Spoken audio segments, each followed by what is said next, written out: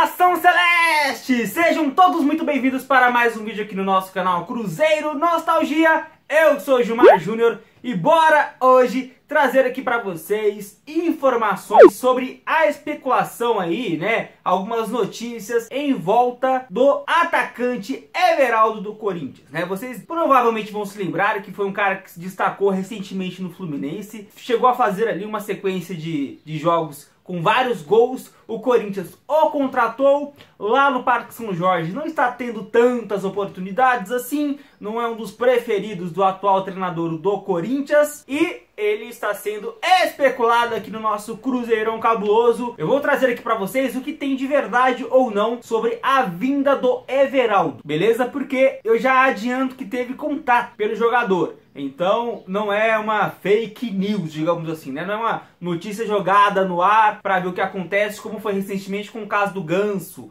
como foi com o caso do Berril, jogadores que assim é, foram noticiados em alguns é, perfis de Twitter, Instagram sobre possíveis vindas que não teve absolutamente nada. O Everaldo tem um fundinho de verdade, beleza? E eu já vou aproveitar aqui para trazer aqui a minha visão sobre essa questão Precisamos de um atacante? Bom, eu vou dar minha opinião e eu quero que vocês comentem a de vocês. Gilmar, concordo, Gilmar, discordo. Como a gente faz aqui, né?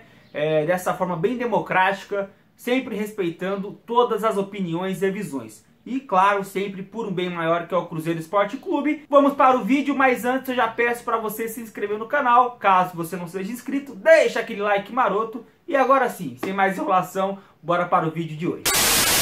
Vamos lá, nação. Everaldo. Gilmar, o que tem de concreto, o que não tem de concreto? Bom, já disse no início do vídeo. É, o que tem de concreto, nação, teve uma consulta. O Cruzeiro consultou sim o Corinthians para saber ali valores, se ele vai ser aproveitado pelo Corinthians ou não, se de repente, né, a comissão técnica é um facilitador de negociações, de repente, né, já deixando bem claro que é um dos nomes ali que não vai ser tão utilizado durante a temporada, enfim, teve a consulta, aquela chamada consulta entre times Sempre que algum clube está interessado em algum jogador, tem que ter a consulta para saber as bases, né, para formalizar uma proposta.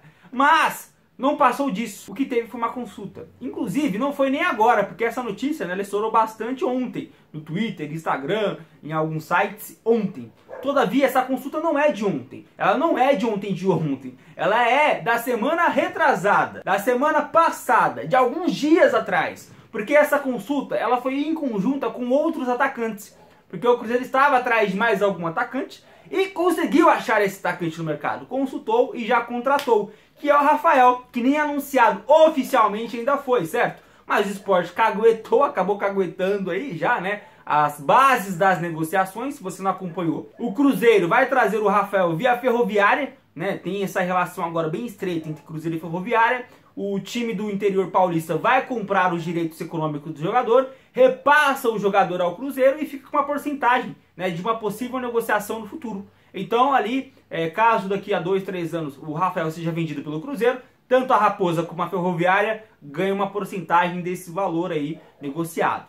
Então, é, esse atacante ele já foi achado. Então, o Everaldo vir para o Cruzeiro, bom, no custo-benefício aí que a diretoria, a comissão técnica acabou avaliando desses atacantes que foram consultados, o Everaldo ficou para trás e o Cruzeiro trouxe o Rafael. Então, Everaldo não vem, tá bom? Só que agora eu vou dar minha opinião aqui para vocês sobre vir um outro atacante, né? O Rafael tá vindo, tá chegando. E, e gente, assim, eu vou comentar, é, dar minha opinião e já perguntar de vocês. Assim, eu, eu vou dar minha opinião sempre perguntando a de vocês. Vou ser bem sincero para vocês, o Cruzeiro hoje né? Se eu pegar aqui o site oficial e estou com ele aberto aqui, ó, vocês devem ver aqui. Quantos atacantes Mário o Cruzeiro tem hoje no site oficial?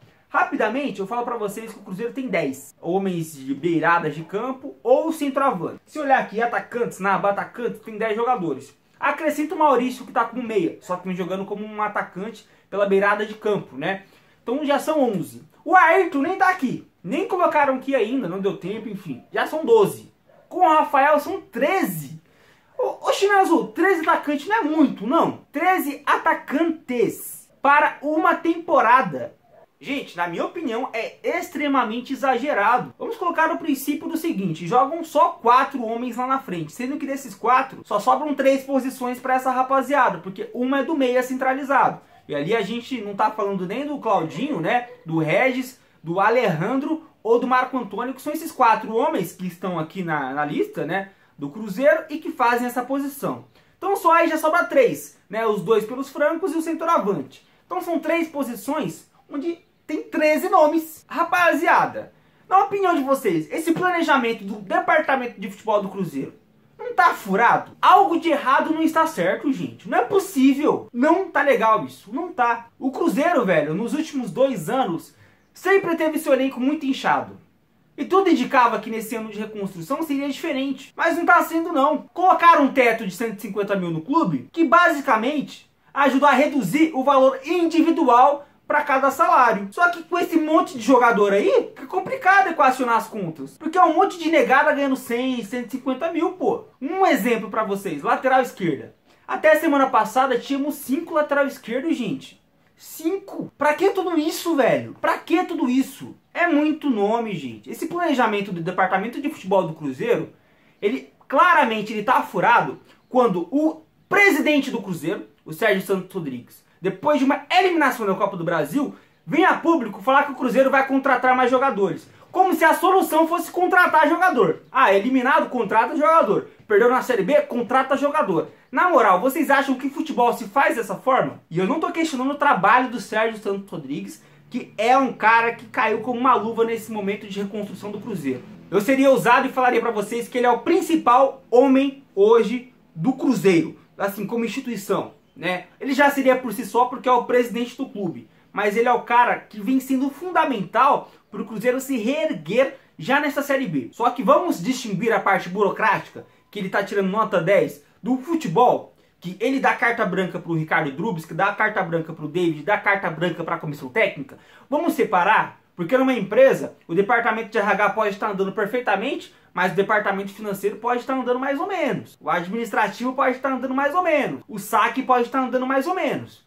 Então, um clube de futebol nada mais é como uma empresa. Se o Sérgio Santos Rodrigues, na parte burocrática, judicial, o Cruzeiro vem fazendo um trabalho magnífico, porque é paulada toda semana dessa, dessa rapaziada externa aí. O Cruzeiro, junto com o Sérgio Santos Rodrigues, na frente de tudo isso, vem sendo primordial para esse momento se a gente olhar o futebol, a parte do departamento de futebol, que não é só do, do, da comissão técnica, não é só do, do Anderson Moreira, essa parte vem trazendo algumas incoerências que precisam ser ditas. O Cruzeiro não pode ser eliminado e achar que a solução é contratar jogador, não, gente. O elenco tem as suas limitações? Tem. Só que não, não pode jogar para a torcida dessa forma. Porque basicamente o que o Sérgio fez na última quarta-feira foi jogar para a torcida. Olha, não tá legal, sabemos que tem coisas para melhorar, mas vai chegar jogador tá? Fiquem calmos. Não tem como ficar calmo. Numa quinta rodada de Série B, o Cruzeiro jogando um futebol tão irregular, não tem como ficar calmo, gente. Porque eu acho que nem eu, nem vocês questionam a eliminação pro CRB, mas questionam a forma como ela acontece, né? Tipo, a jogabilidade. O que o Cruzeiro tá jogando ou não está jogando. E olha que contra o CRB a gente dá até um desconto, porque o Anderson Moreira tinha nove desfalques. É muita coisa, é muita coisa. Ele não, teve, não tem tempo para treinar um novo time. Não tem tempo para isso. É jogo após jogo, então a gente dá esse desconto. A gente bate menos. Só que com os nove desfalques já não está acontecendo. Imagina sem esses nove jogadores, que, como aconteceu contra o CRB. Ah, o desastre já estava já tava assinado antes mesmo da bola rolar. Mas enfim, esse departamento de futebol do Cruzeiro vem mostrando algumas incoerências que precisam ser ditas. Eu já falei aqui para vocês. Três atacantes, na opinião de vocês, é normal? Não pode ser normal, gente. 13, cara, é muita coisa. A lateral esquerda eu já falei. Quer ver outra incoerência? E aí eu vou falar do departamento de futebol. Vocês entendam que algum dessas decisões é da comissão técnica, que praticamente a maioria, né? Outras decisões é em conjunto. Mas vou trazer outra incoerência. O Henrique voltar a ser capitão, velho. É ou não é uma incoerência? Um cara que abandonou o barco justamente nessa posição de capitão. E o que falar do Manuel? Gente, o Manuel, ele voltou e assim, semanas depois já virou titular. É muita incoerência com os próprios zagueiros do elenco. E gente, e aqui eu não estou analisando tecnicamente a situação, mas vocês têm que entender que um clube é uma família de futebol também. Eu falei agora porque é uma empresa, também é uma família. E assim, é o seguinte, eu fico só imaginando o grupo do WhatsApp dessa rapaziada. Vocês já sabem, os titulares são Cacalhau. E os reservas imediatos é o Arthur, o Ramon e também o Marlon. Sem contar o Paulo, que está correndo por fora, nem que ele está correndo por fora. Eu vejo mais ele ganhando experiência junto com essa rapaziada que são mais velhas, do que propriamente um cara que está ali na disputa para ser titular, ou reserva imediato. Não. Acho que o Paulo é mais para os próximos anos. Minha, minha opinião, tem talento demais. Só que para esse momento, é mais ali para os próximos anos. Ele está mais ganhando experiência. Então eu vou tirar até o Paulo fora. Mas imagina só, você, Marlon, você, Arthur, você, Ramon, vê um cara chegando de gaiato, que foi o Manuel, ele voltou para ser reemprestado. O Cruzeiro, o seu empresário, não conseguiram achar alguém interessado. Ele teve que ficar. Até então ele ficaria, mas não seria utilizado. Mas aí do nada, do nada, o Kaká não tem condição de jogo porque está ali com a parte física meio comprometida e se jogasse contra o CRB poderia causar alguma lesão. Aí do nada o cara aparece como titular. Como que fica a cabeça do Marlon, do Ramon, do Arthur? Isso chama-se incoerência? Na minha terra isso é incoerência, uai. E na de vocês? Eu tô falando alguma besteira aqui, rapaziada? Não, eu fico de boa, eu fico real, eu fico pensando, velho, a cabeça desses caras. Vendo essas situações incoerentes todas. Será que o Léo e o Fábio ficaram felizes de ver o Henrique voltando e já ser capitão abandonando o barco? Porque o Anderson Moreira quer vender pra gente uma história que nós não conhecemos sendo que na verdade o próprio Henrique nos contou a história da saída dele. Gente, tem mais incoerência. Só foi uma reflexão rápida aqui de algumas. Se vocês lembrarem de alguma quiser colocar nos comentários, fiquem à vontade. Mas é só uma reflexão sobre essa busca de atacante, busca de, de reforço. Será que a solução realmente vem em contratar mais jogadores? E na minha opinião, não. Na, na minha opinião, a solução ela, ela vem assim, é, muito de uma forma muito mais fácil do que propriamente tendo que bater na porta de outros clubes para saber situação contratual, para situação de salário, para saber situação de aproveitamento ou não daquele jogador. Enfim, ela é dentro do próprio Cruzeiro. O elenco já está inchado. Eu contei aqui, a gente tem 42 atletas já contando com o Ayrton. 42 atletas no elenco. É um elenco super inchado. Se o Cruzeiro achar que a solução é contratar a rodo, sim, foi eliminado, contrata. Perdeu um jogo, contrata. A gente vai acabar a Série B com 70 atletas dessa forma. Então, é, o elenco está montado. O Cruzeiro precisa. Tem algumas carências? Tem algumas carências. Mas, mas, para resolver essas carências, tem que resolver primeiro os problemas internos. Se quiser contratar um lateral esquerdo, resolva o problema da sua lateral esquerda atualmente. Porque vai contratar mais um para ficar com cinco no elenco? Enfim, rapaziada, é a minha opinião, tá? Eu trouxe aqui a, a questão do Everaldo, se vem ou não vem, já expliquei para vocês que o que teve foi uma especulação e aproveitei também para arredondar algumas incoerências que estão rodando no departamento de futebol do Cruzeiro, inclusive achando que contratação é a solução para os problemas, para as derrotas do Cruzeiro, quando na minha visão não é. Comentem a opinião de vocês. E é isso, nação. Espero que vocês tenham curtido mais um vídeo aqui no nosso canal e até a próxima. Eu fui e tchau!